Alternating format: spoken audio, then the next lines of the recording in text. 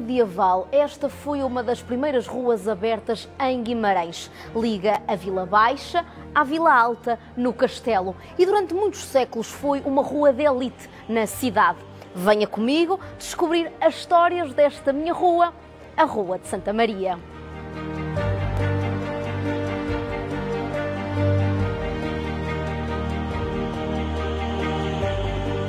Sou Palmira Dias, tenho 46 anos e vivo nesta rua desde sempre.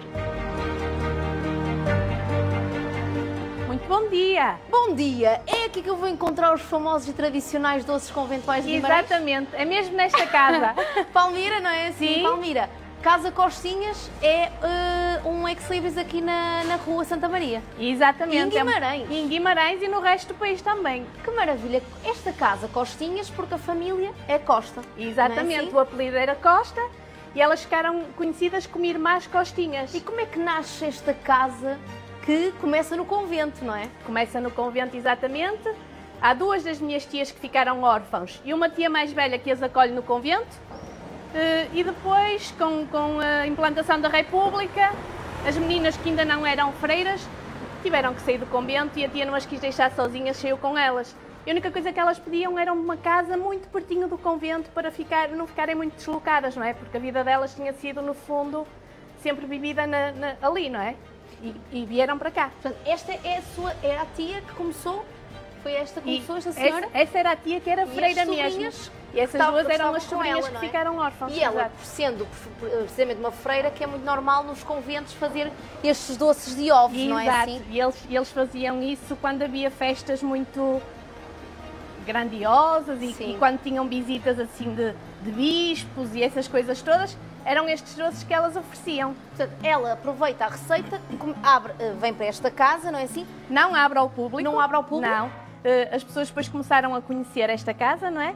Eh, E, e eles começaram a arranjar clientes aos pouquinhos, começaram a ficar conhecidas e as pessoas chegavam aqui e tocavam na campainha. Subiam, estavam com elas na sala, conversavam, rezavam um terço se fosse preciso, se estivesse na hora de rezar e pronto, e assim começou. Esta casa só foi aberta depois em 2006 Ao público. ao público, sim. Mesmo a minha mãe eh, atendia exatamente como a minha tia. As pessoas entravam na casa e eram da família.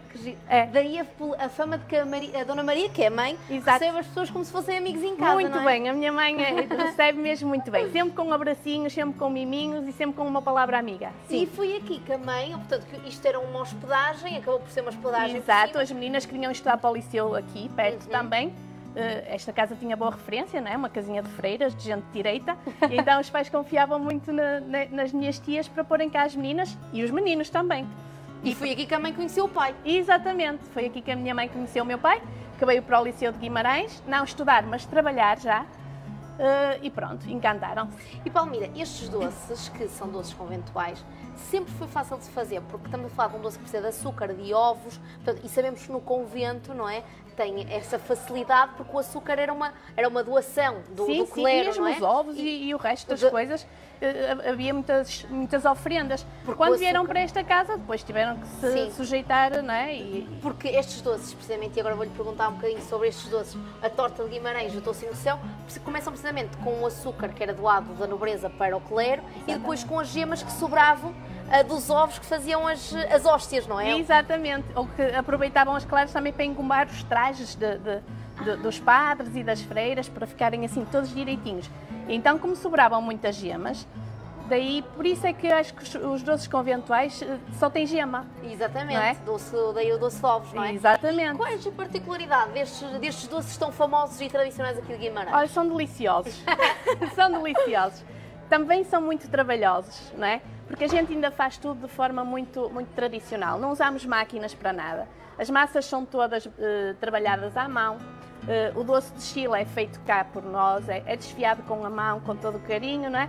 Eu acho que tudo isso faz a diferença. E eu acho que ainda, ainda somos muito eh, apreciados por causa disso também, não é? Porque a gente ainda não mete maquinaria nenhuma para fazer estes docinhos. Então pronto, eu ainda vou ali catrapiscar e falar com E o acho que vizinho. faz muito bem. Mas antes disso, vamos lá dentro conhecer mais destes, destes docinhos. Com certeza, Antes vamos mais, lá. muito obrigada, Palmeira, Eu é por que agradeço. aqui. Então vamos lá provar Força, estes, estes maravilhosos docinhos. Bora lá.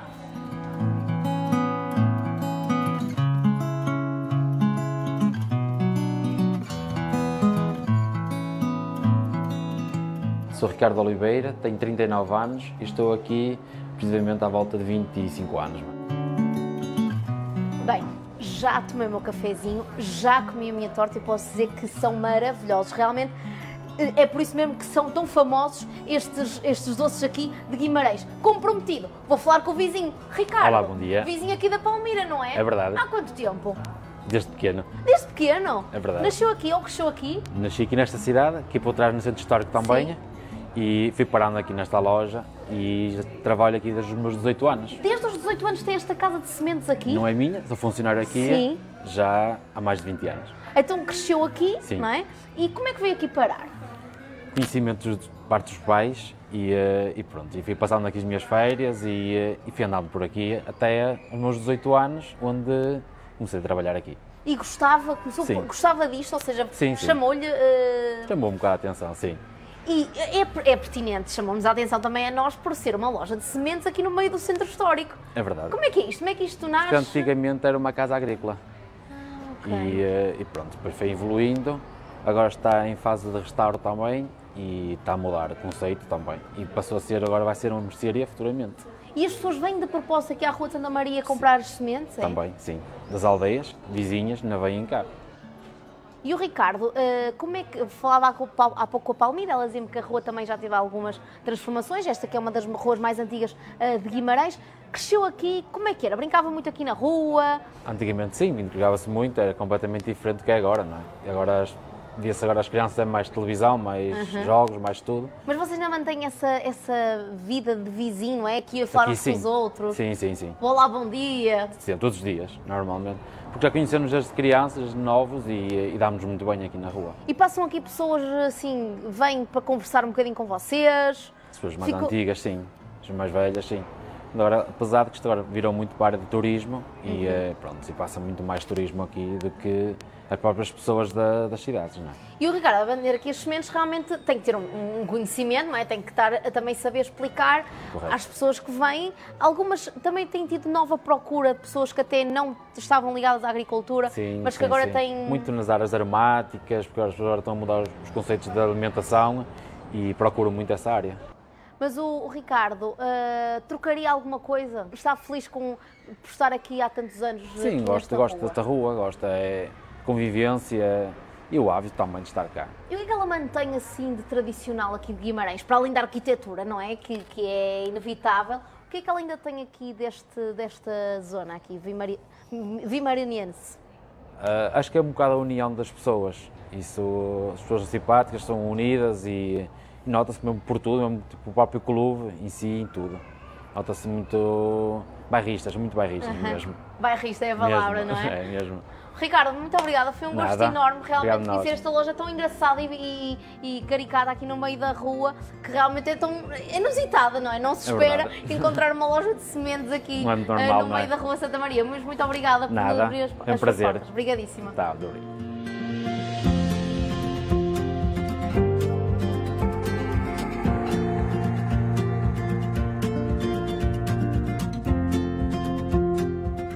Chamo-me António Amaro das Neves, tenho 62 anos e sou eh, historiador e professor há mais de 40. Professor Amaro das Neves, ainda bem que aqui nos encontramos na Rua de Santa Maria para falar um bocadinho sobre, sobre esta rua que eh, é uma das mais antigas aqui de Guimarães, que começa aqui precisamente com a igreja, a sede de Guimarães, sem bispo, não é Sem assim? bispo, sim. E que tem aqui uma particularidade, que é a capela de São Nicolau, que é tão importante aqui para a cidade, não é? É, é por causa das festas mais embl- emblemáticas, Cláudia. A, a- a- a Capela São Nicolau foi construída em 1662, ou começou a ser construída em 1662. Não é como a vemos aqui, que esta foi, ela depois foi desmontada, quando de um, de um restauro sem muito sentido em algumas coisas. No início da década de 70 foi desmontada e no final do- da- da- do- dos anos 90 do século passado, os estudantes de Guimarães mobilizaram-se e os antigos estudantes para reconstruir a capela. Foi, foi com, esta capela foi, foi construída com, com, com dinheiro de comédias e de danças que os estudantes faziam, organizavam, e, e isso permitiu eh, eh, também nascerem as festas nicolinas tal como nós as Que conhecemos são a hoje. dia 29 de novembro, não é? Começam a 29 de novembro, mas isso é uma ilusão. No dia 29 de novembro é- é levantado o pinheiro, que é o mastro que anuncia que as festas uhum. vão acontecer, porque a festa verdadeiramente é no dia 6 que é o dia de São Nicolau, mas tem vários certo. números ao longo de, de, de, desse espaço de tempo que vai do dia, do dia 29 ao dia 6. E este ponto da, da Capela, de São Nicolau, da Capela São Nicolau e das festas nicolinas, já mais à frente vamos também uh, ter outra particularidade Sim. relacionada com os estudantes, que já deu para perceber que tem aqui uma forte presença. Sim, o, o, o, os estudantes de Guimarães são, são, são são algo que, que, que movimenta muito a, a, cidade porque conseguiram manter um tipo de festas que existem um pouco por todo o mundo. O São Nicolau é, é o Pai Natal. Uhum. Okay? O, São, o São Nicolau depois foi, foi, foi, foi adotado pela Coca-Cola, vestiu de vermelho, etc. Mas era um bispo eh, que não tinha nada daquele, daquele aspecto que nós vemos na, na, na imagem que hoje temos dele.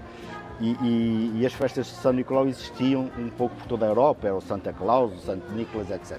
E já desapareceram em quase todo o lado. Sim, e em Guimarães mantém-se mantém e mantém-se cada vez com mais força, que é muito, muito interessante. Eh, a Noite de Pinheiro, por exemplo, mobiliza muita gente porque vêm estudantes de todo o mundo uhum. aqui. Hoje, então, em tempos recentes, com, com a imigração jovem, de, de jovens licenciados por esse mundo fora, há, há, há, há pessoas que não vêm a Guimarães pelo Natal, mas que vêm pelas festas nicolinas, pelas festas nicolinas pelo, pelo Pinheiro, sim. Ora, começamos então aqui esta rua de Santa Maria, que uh, nasce precisamente para, é uma das, das, primeiras ruas a ser construídas hum. aqui em Guimarães, porque liga precisamente uh, dois pontos importantes sim, da cidade. Eh, na, na Idade Média, uh, a vila, isto não era uma cidade, só é cidade uhum. desde 1853, a vila de Guimarães era composta por duas vilas, na verdade. A vila de baixo, que é onde nós estamos, e a vila de cima, que é do castelo, ou então a vila velha, que é do castelo, lá em cima, e aqui a, a vila, a, a vila nova, que era ligada a esta igreja e a, e a este convento, depois colegiada, e que aqui existia, que aqui temos a igreja, que é a colegiada de Oliveira, de Nossa Senhora de Oliveira, eh, Nossa Senhora de Oliveira é Santa Maria, é a mesma que, que, dá o nome à rua. E, e, portanto, esta, esta rua ligava as duas, as duas vilas eh, da, da Guimarães medieval e era uma rua com uma importância social grande. Sim. A professora Conceição Falcão Ferreira eh, escreveu já há muitos anos uma tese de, de mestrado sobre esta, sobre esta rua e lhe chamava uma rua de elite era uma rua de, de, gente de posses, de gente rica, essencialmente de cónegos, eh, mestres de escola, o Dom Prior, etc., da colegiada da, da, da, da, Oliveira.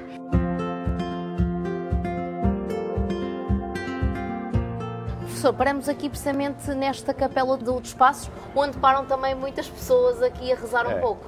Esta é uma via sacra que era composta por, por sete capelas destas foram instaladas, foram montadas no, no princípio do, do, século XVIII pela Irmandade de Nossa Senhora da Consolação e dos Santos Passos e, e elas estavam espalhadas por diferentes pontos da, da vila, hoje cidade, e ainda sobram quatro das, das sete que eram, quase todas fora do sítio, inclusive uhum. esta que estava originalmente junto ao convento de, de Santa Clara e é uma, uma, um, um, tipo de, de, de, capela muito interessante, até porque tem um figurado polícromo muito, muito rico, muito interessante, em tamanho praticamente natural, em, em que, em, em, que faz a via sacra de, de Cristo. Oh, professor, para terminar, e agora hum. se calhar fora deste, desta história, há um brilho no olho do professor quando fala sobre isto. Também é, é essa, essas tradições que se vivem tanto aqui em Guimarães Não, e que as pessoas são tão ligadas. É, é, é, é isso que faz, que faz de Guimarães, se calhar, aquilo que tem sido visto como, como uma,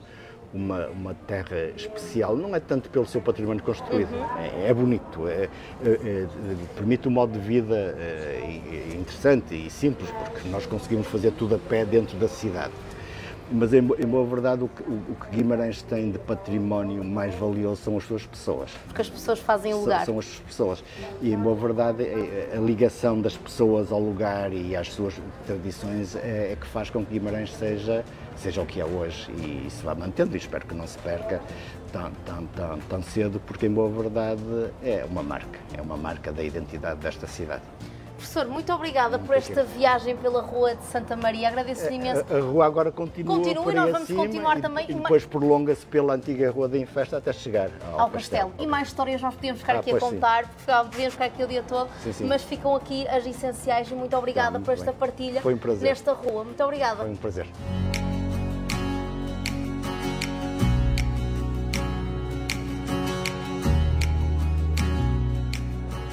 Linda! Olá! Está agora aqui a fazer uma compra, não é? Esta loja é irresistível, É. não é verdade? É sua?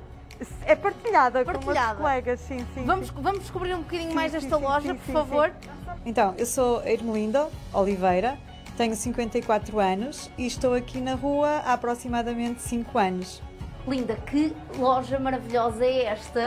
Tem um pouco de tudo, mas tudo parece um mundo encantado aqui. É, é um bocado isso, é um bocado tentar fazer do espaço um espaço diferente.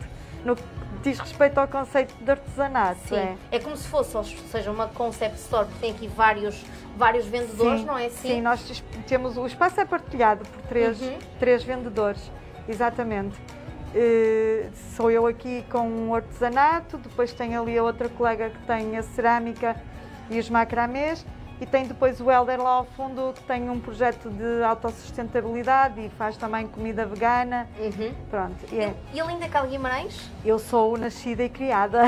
sempre teve essas belas mãos para estas coisas, Sim, sempre tive.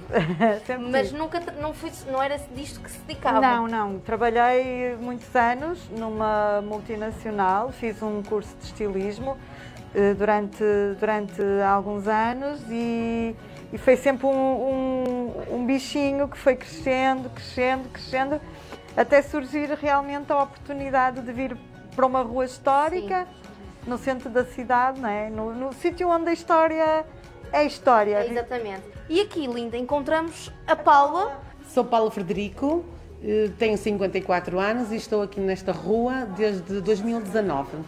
Tudo a bem? Paula, que é dedicada à olaria e também ao macramé, não é? Sim, sim, sim. São duas áreas que eu neste momento estou a, a- a evoluir cada vez mais eh, e, apaixonar-me cada vez mais. E a Paula Cal Guimarães? Sou de Guimarães e eu, a minha área é gestão de recursos humanos. Eu trabalhei numa empresa durante muitos anos eh, como responsável de recursos humanos, mas nunca estive desligada das artes, porque eu desde muito nova que estou ligada à, à pintura, a artes plásticas e de repente vejo-me desempregada, não sabia o que é que havia de fazer, como estive sempre ligada às artes, dediquei-me inteiramente às artes. Ou seja, em 2019 eh, participei na Feira de Artesanato de Guimarães, eh, na qual no meu stand era muito destacado, ah, tanto é na altura eh, o presidente e tudo disse que não, que não, que não conhecia-me como artesã, mas que me deu os parabéns, então dediquei, decidi abrir o ateliê para mostrar a minha arte.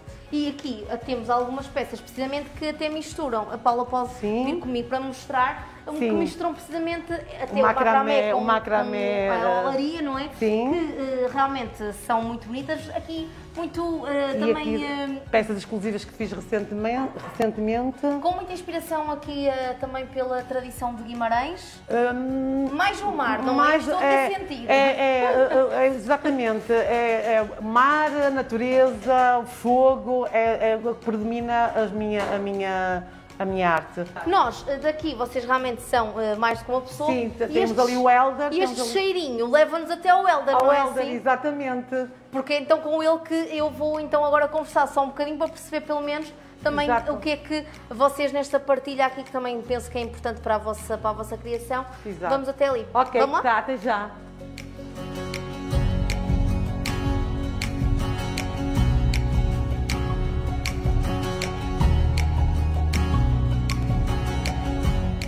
Eu sou o Helder Magalhães, tenho 39 anos e estou aqui na Rua de Santa Maria com o projeto da Pedra Flor desde o verão de 2019. Helder, dentro do mesmo espaço, esta é a terceira loja, Pedra Flor, que nós fomos aqui atraídos pelo cheirinho. Vamos entrar aqui um bocadinho. Como é que o Helder é de Guimarães?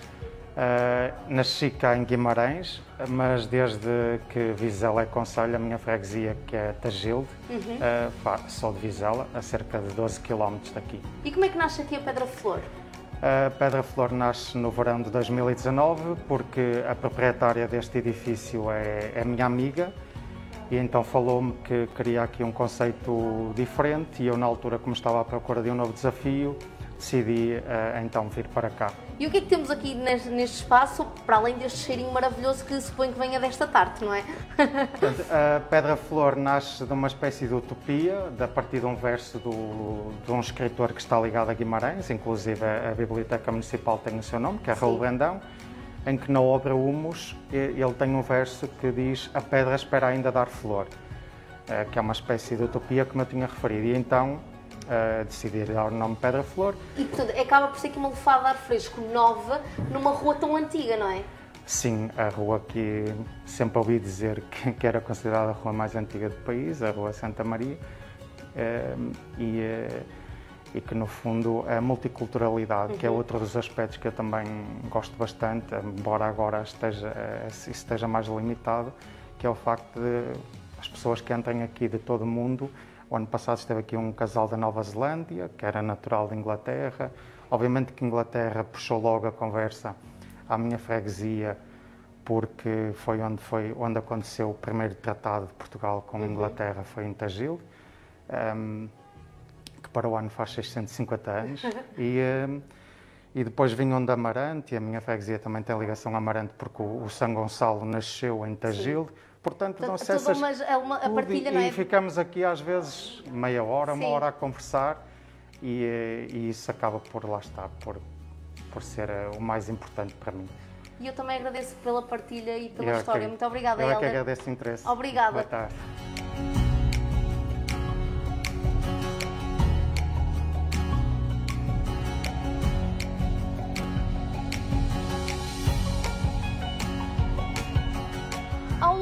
Desta rua encontramos vários testemunhos arquitetónicos do seu passado, como o Convento de Santa Clara ou a Casa do Arco. Aqui descobrimos muitas histórias, como a da Senhora Aninhas, tão importante para os jovens estudantes.